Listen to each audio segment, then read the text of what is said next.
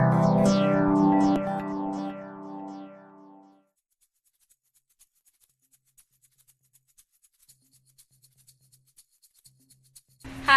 I am Suma Chakravarthy from the lab of Greg Martin at the Boyce Thompson Institute for Plant Research.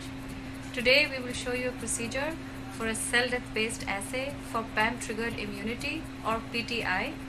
We use this procedure in our lab to look for the involvement of a gene in PTI. Let's get started.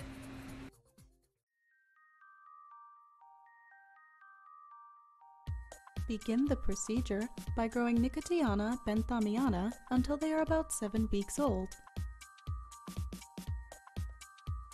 Four to five days prior to starting the PAMP-triggered immunity, or PTI assay, trim the plants to remove all axillary branches and flowers. Try removing the axillary branches soon after they emerge to make the plants more manageable. After preparing the plants, proceed to grow the bacteria. This procedure uses non-pathogenic bacteria for induction of plant immunity prior to a second inoculation with challenge bacteria.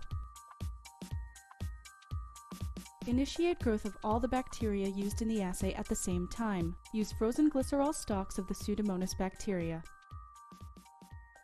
For each Pseudomonas bacterial stock, spread a small amount of bacteria on the center of a KBM plate containing the appropriate antibiotic and incubate the plate at 30 degrees Celsius for about 18 to 24 hours.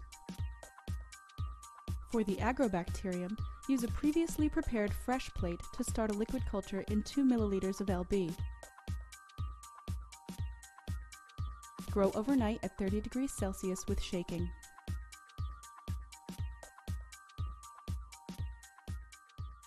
On the following day,